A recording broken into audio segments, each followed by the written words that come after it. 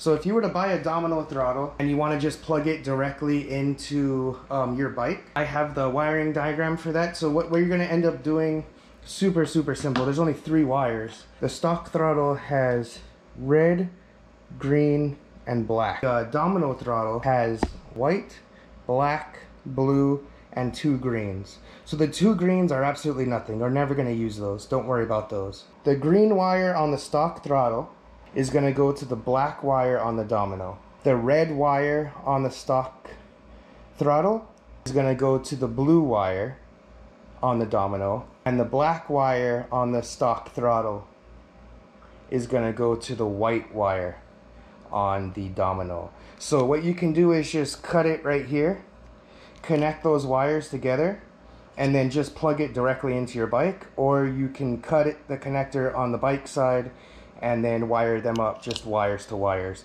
Uh, probably better if you do the connector. So yeah you got your throttle on and go ahead and give it a twist just to make sure it works. All right and that's the install on the domino throttle.